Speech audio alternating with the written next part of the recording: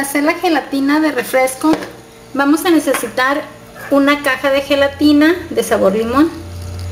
También vamos a necesitar un refresco sabor limón y dos media crema.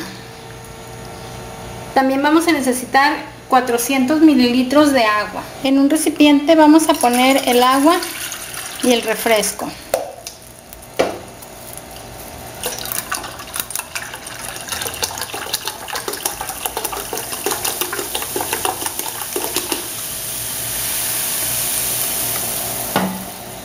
Y vamos a poner a hervir.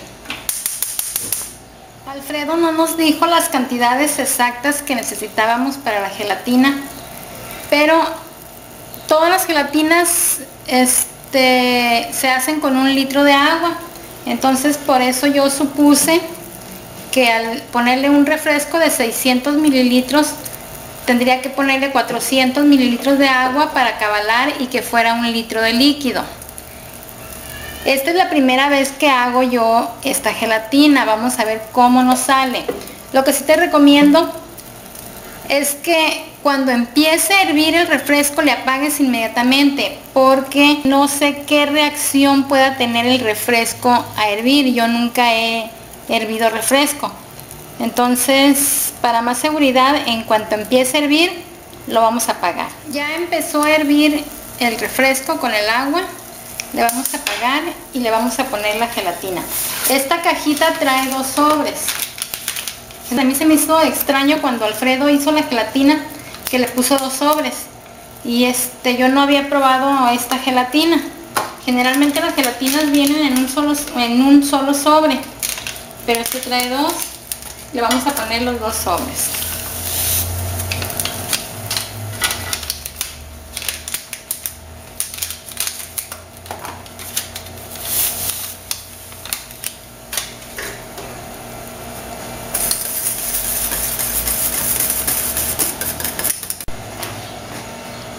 Vamos a esperar un momento a que se enfríe esto para licuarlo junto con la crema.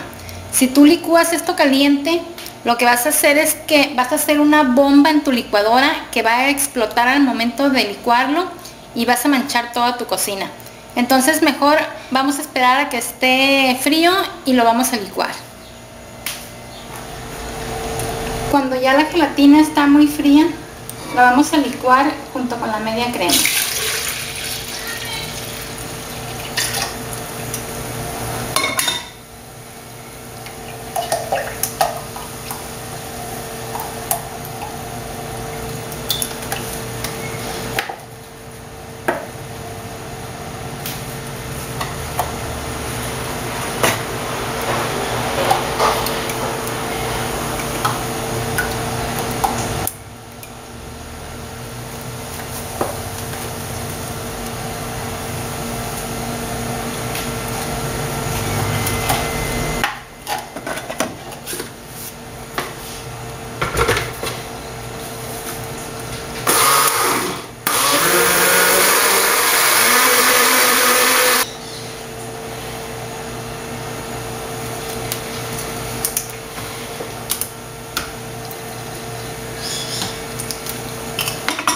La vamos a poner en un refractario y vamos a esperar. Puedes ponerlo en un refractario grande o en varios pequeños. Vamos a meterlo al refrigerador y vamos a esperar a que cuaje. Ya sacamos la gelatina del refrigerador y así es como nos quedó.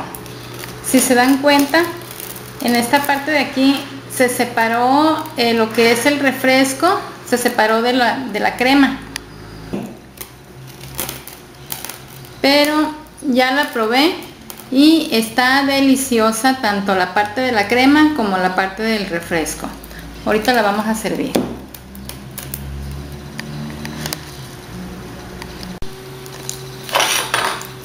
Y así es como nos quedó nuestra gelatina de refresco. No sé si a nuestro amigo Alfredo le haya quedado de esta manera o se le integró todo. Pero pues a mí así me quedó y me pareció que está muy rica. Si les gusta, los invito a que la preparen y ya me comentan si les quedó igual o no. Pues muchas gracias por ver mis videos y yo los espero en mi próximo video tips.